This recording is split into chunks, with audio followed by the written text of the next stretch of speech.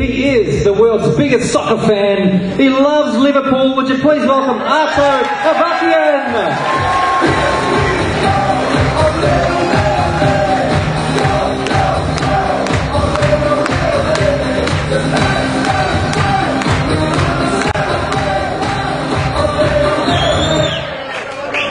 All right. We might do more of that later. That was fun.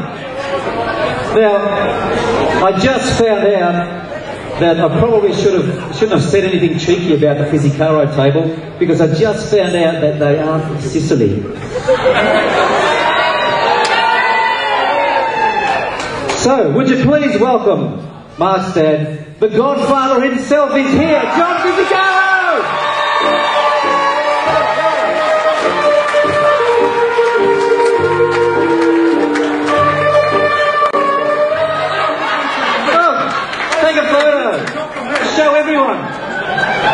I bet you you can't pick which one's Carlo.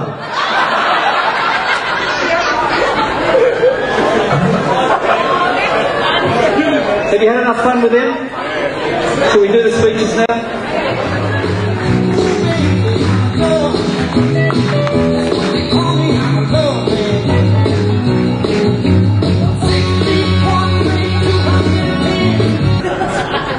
And John, thank you for being a great uh, DJ and MC. Again, we had no doubt you'd uh, be able to host tonight without a fuss. That was it. That was the time.